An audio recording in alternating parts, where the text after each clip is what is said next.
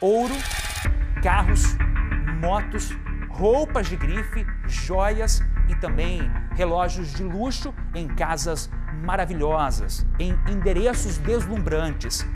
Ostentação para tudo que é lado. Mas, por trás disso tudo, uma investigação da Polícia Federal e da Interpol por fraudes de até 4 bilhões de reais envolvendo criptomoedas e também lavagem de dinheiro. Nossa equipe estava no lance. Põe na tela.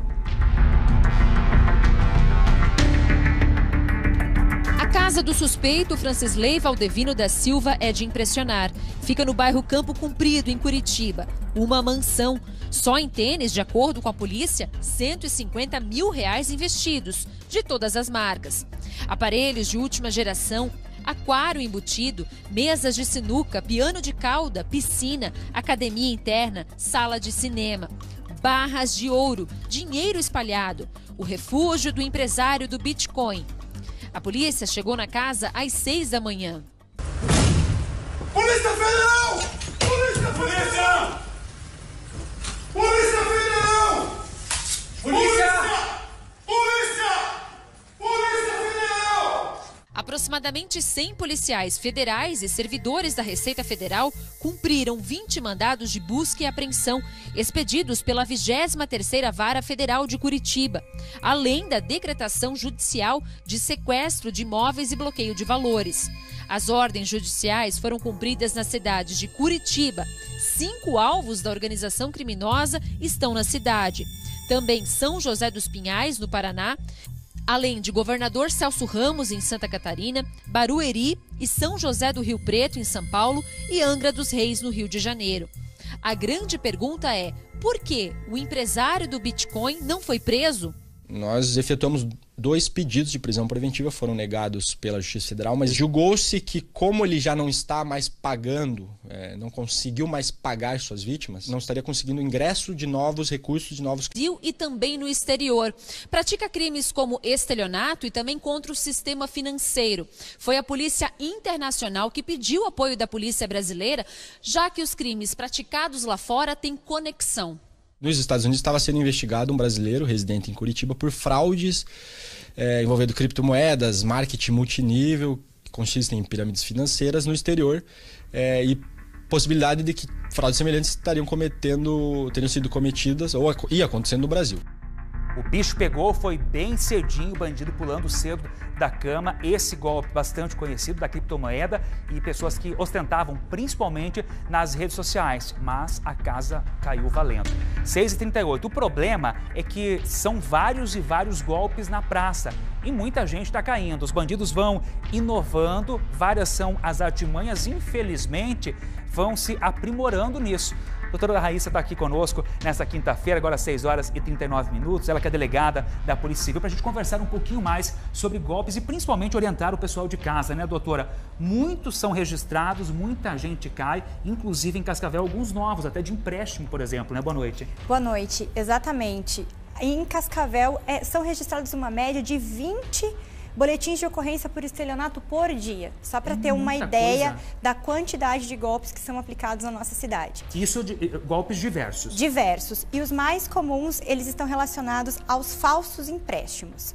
Então, existe um golpe que é o do falso empréstimo, que os estelionatários eles divulgam vários anúncios, seja no Instagram, no Google, no Facebook, dizendo que existem empréstimos para a pessoa que não precisa comprovar nenhum tipo de renda. E aí, às vezes, a pessoa está precisando de um dinheiro e entra em contato com eles. E aí, o que, que eles fazem? Eles começam a exigir diversas taxas para a liberação desses empréstimos. E, na verdade, não existe empréstimo nenhum depois que a pessoa paga algumas taxas, algumas no valor de 500 reais, mil reais, eles simplesmente somem e não atendem mais o telefone e esse empréstimo nunca é efetivado na conta da pessoa. Esse já teve registro, inclusive, em Cascavel. Muitos registros. Então, qual que é a maneira mais fácil de não cair nesse golpe? Primeiramente, desconfie de ofertas muito tentadoras. E depois, nunca que você vai precisar fazer um empréstimo, você está precisando de dinheiro, você vai precisar pagar antecipadamente alguma coisa. Não tem então lógica, não né? tem lógica, você vai primeiramente receber os valores e posteriormente então eles serão descontados com os juros do empréstimo. Mas nunca a pessoa vai precisar ficar pagando diversas tarifas para que esse valor seja liberado. É difícil investigar e, quem sabe, ressarcir a vítima num caso como esse?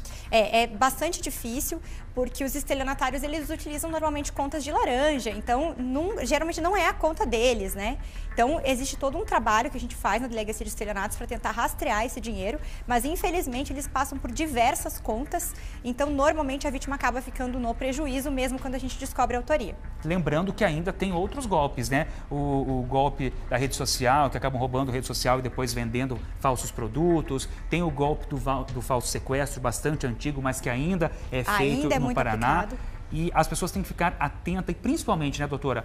Cair num golpe não é vergonha para quem cair no golpe, a vergonha é para o bandido, tem que ser identificado. Então é importante fazer o registro do boletim de ocorrência, até para que vocês saibam e consigam, quem sabe, coagir, proibir, é, é, identificar esse bandido e evitar novas vítimas, né? Exatamente. E a nós, da Polícia Civil, a gente consegue, além de fazer a investigação, também saber quais são os golpes mais comuns registrados na nossa cidade, até para fazer um alerta para a população, para que ninguém mais continue caindo nesse tipo de golpe. Porque a gente sabe que depois essas pessoas, muitas vezes, estão ali, é, como a gente viu na reportagem, ostentando uma vida é, muito maravilhosa em redes sociais com e com outros. o dinheiro dos outros. Existe um ranking, vocês conseguem apontar algo nesse sentido assim?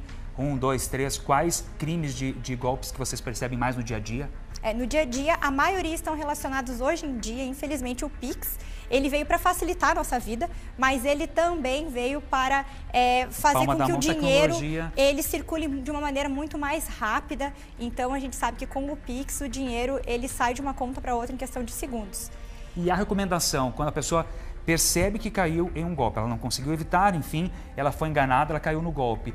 É procurar a delegacia ou ela pode fazer, por exemplo, aquele boletim digital?